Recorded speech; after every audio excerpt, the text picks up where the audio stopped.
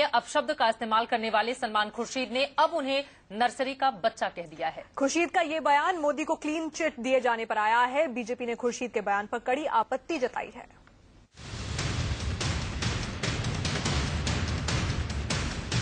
किसी बच्चे को नर्सरी में नर्सरी में सही सही अंक मिल गए तो वो अपने आप को डॉक- डॉक्टर समझ रहा है और पीएचडी लिए फिर रहा है। विदेश मंत्री और फरुखाबाद से सांसद सलमान खुर्शीद का नरेंद्र मोदी पर ये सबसे ताज़ा हमला है। नर्सरी के बच्चे से मोदी की तुलना कर खुर्शीद ये बताने में जुटे हैं कि अगर किसी कोर्ट से मोदी को क्लीन चिट मिल भी गई है तो बच्चे की तरह खुश होने की ज़रूरत नहीं है। एक कोर्ट ने मैजिस्ट्रेट के कोर्ट ने समझ उनको भेजने से इनकार किया। ये ठीक है।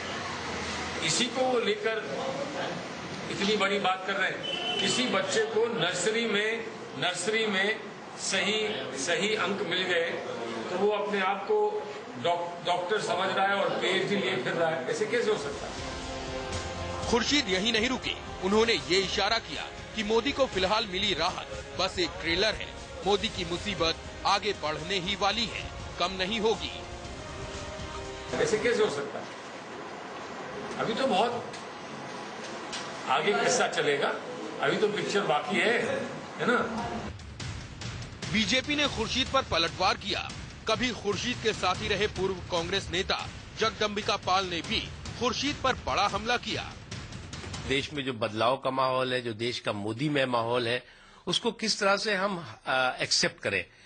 वो हजम नहीं हो पा रहा है उनको। मैं समझता हूँ कि जब तक नर्सरी नहीं मज़बूत होगी किसी इमारत की बुनियाद नहीं मज़बूत होगी। नहीं उनके दिमाग का दिवालियापन हो गया है और कुछ नहीं है।